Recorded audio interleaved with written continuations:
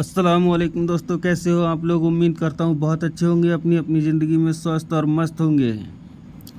तो दोस्तों, आइए हम आपको लेकर चलते हैं सरकार मदार पाक की वारगाह में, जो कि मकनपुर शरीफ में है। और यहाँ से हम लोग एंट्री करेंगे, अंदर जाएँगे, और ये पहले गेट पर हमने एंट्री कर दी है, और हम आ गए हैं अंदर।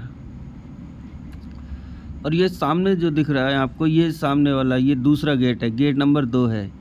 और ये जामा मस्जिद है मकनपुर की। बहुत ही खूबसूरत मस्जिद है, हम आपको इस मस्जिद के बारे में बाद में बताएँगे दूसरी वीडियो में इन और ये पहला गेट है जिससे हम अंदर आए हैं।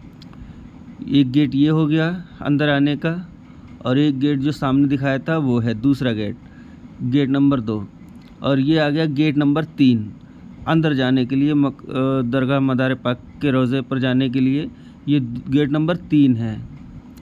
इससे भी हम एंट्री करेंगे और यहाँ पे बहुत ही खूबसूरत दीवारें हैं, बहुत ही बेहतरीन पत्थर के मकान हैं, ये बने हुए पत्थर की दीवारें हैं, बहुत बहुत मोटे पत्थरों के से बने हुए और ये हमारे यहाँ के लड़के हैं, देखो देखो।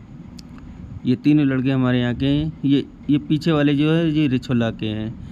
ये अब्दुल्ला जी भैया का लड़का है, ये खतीब अहमद भैया का लड़का है। माशाल्लाह। ये हमारे साथ में ही उर्स में आए हुए थे और हम गेट नंबर तीन से अंदर आ गए हैं। अभी ये पाकड़ का पेड़ है। ये बहुत ही पुराना पाकड़ का पेड़ है, बहुत ही खूबसूरत पेड़ होता है ये।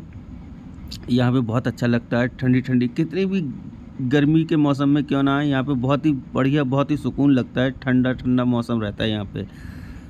अब यहाँ से हम एंट्री करेंगे। गेट नंबर चार पर पहुँचेंगे। तीन नंबर से हम अंदर आए हैं। अब गेट नंबर चार पर पहुँचेंगे। उसके बाद में हम आपको और अंदर लेके चलेंगे। ये आ गया गेट नंबर चार।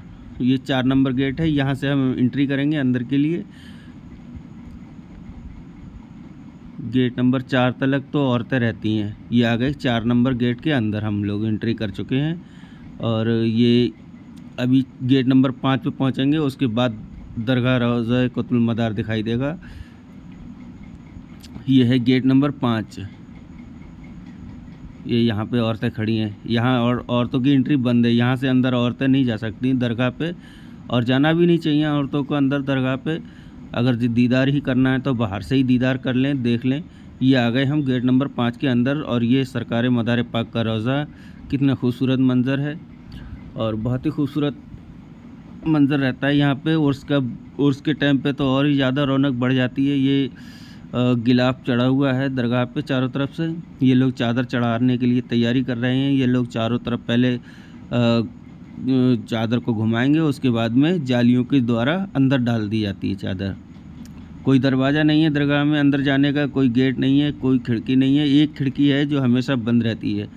ये गुल्लक रखें, नजराना अपना इसमें डालें। कोई खादिम पैसे लेने वाला नहीं होता, कोई ज़बरदस्ती नहीं कर सकता आपको वहाँ से।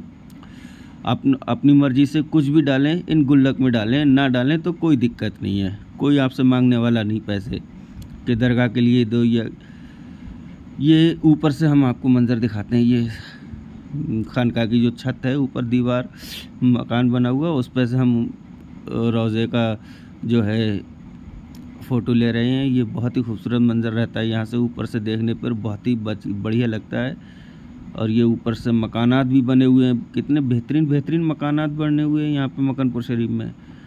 आपको मौका मिले तो ज़रूर आइएगा मकनपुर शरीफ में। और सरकार मदार पाक के फैज़ान से माला माल होइए।